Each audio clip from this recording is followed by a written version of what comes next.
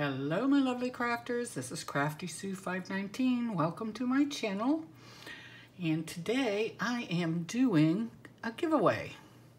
I was in Target the other day and found some cute little Halloween goodies, so I thought I would share them with you.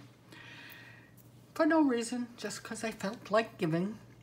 So, here are the rules. You have to be 18 years of age older. You have to be a visible subscriber of my channel. If I cannot see you are a subscriber, you will not be entered into this little giveaway. And there is something you're supposed to do for this in order to be eligible. And that's all I'll say. You need to figure it out. And that's the trick to this little treat. See what I did there?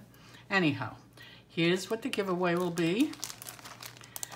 I got these cute gel clings. And they're supposed to go on your window, but I would think that you could glue these down onto a project. I think they're so cute, except spiders. I don't like spiders. But there's quite a few in here, 20 of them. And then they had this one, which I thought was really cute too, with the witch's hat and the trick-or-treat and the pumpkin and the ghosts. Can you see them? It's a pretty big packet. And there's 15 in this package. And then I picked up this headband.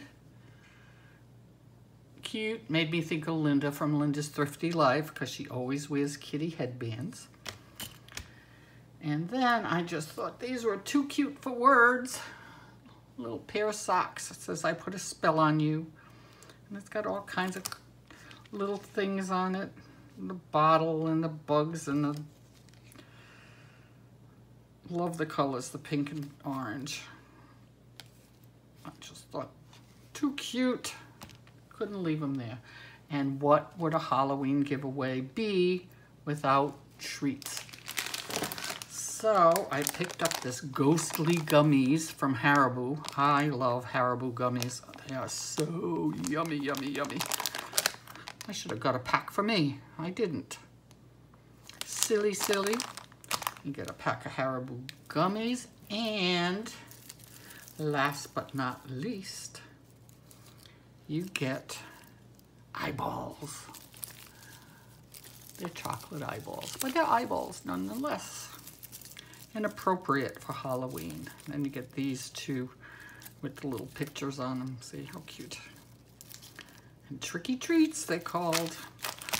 So this is my little giveaway. And you have to figure out what you have to put in the comments below.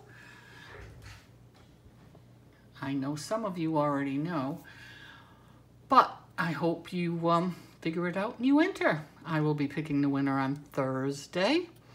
So happy trick and treating.